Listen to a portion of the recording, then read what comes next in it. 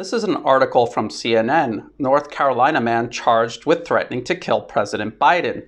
He was making threatening phone calls to the White House, and his defense was that he had free speech and did nothing wrong. Now, why does that sound so familiar?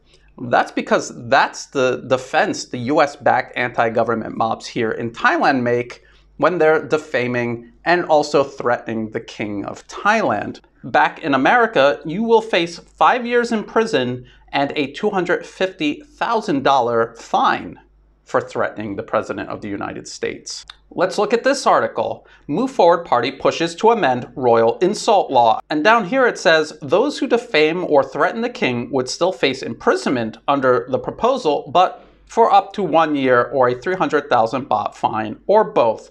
Look here. Or threaten the king. Move Forward wants to change the laws of Thailand so that there is almost no penalty at all for attacking the monarchy which has been their plan all along to attack and destroy the monarchy, and they are trying to change the laws to make that possible. At the same time, let's look at this article. Now, this is in Thai, but I think people can read this number 24 million baht. That's how much they're suing their critics for allegedly defaming them. So, do you see how this works? They're going to change the laws to make it possible to attack and destroy the monarchy, the head of state of Thailand, and they're still going to use Thailand's defamation laws to silence their critics and to sue them for millions and millions of baht. This is a dictatorship in the making, right out in the open, even as they're accusing the current government and the monarchy of being dictatorships in fiction.